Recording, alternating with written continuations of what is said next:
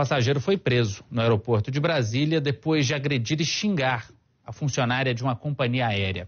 Testemunhas contaram que o homem se irritou porque perdeu um voo de Brasília para o Rio de Janeiro. Naila Guiar, boa noite para você. Naila está lá no aeroporto. A gente sempre vê essa cena, né, de passageiros irritadinhos, de passageiros que às vezes pedem a hora do voo. Obviamente as pessoas ficam chateadas.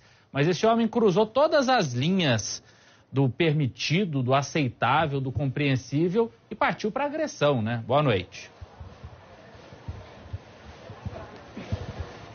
Oi, Matheus. Boa noite. Boa noite a você que assiste a gente aqui na Record.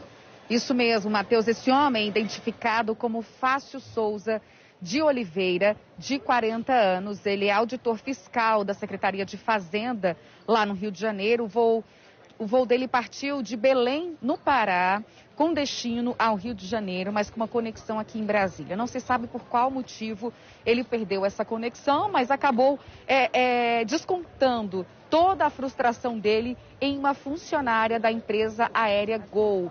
Ele, segundo a polícia, xingou essa mulher e também a agrediu fisicamente. A Polícia Federal, a gente sabe que tem um posto da Polícia Federal aqui no aeroporto, levou esse homem, Matheus, até a décima delegacia de polícia no Lago Sul.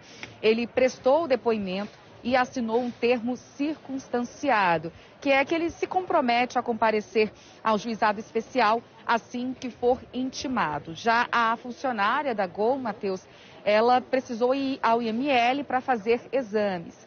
A empresa aérea Gol diz que está dando todo apoio a essa mulher e que, é claro, não compactua com esse tipo de atitude. Fica um exemplo para esse homem, para todo mundo, né, Matheus? Porque você vê, ele provavelmente ficou irritado porque se atrasou, porque perdeu a conexão, mas descontou a frustração na funcionária, ou seja, atrasou mais ainda a vida dele porque ele precisou ir para a delegacia.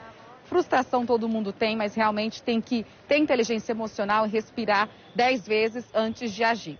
Matheus, eu vou aproveitar e mostrar para vocês como é que está a movimentação aqui no Aeroporto Internacional de Brasília. Movimentação ah, tranquila, né? Mas assim, a gente vê que os guichês não estão muito cheios. Mas eu acabei de ouvir aqui dos funcionários da Inframérica que há bastante engarrafamento é, nas regiões próximas aqui do aeroporto, principalmente ali nas quadras do Lago Sul, na QI, QL 12 do Lago Sul.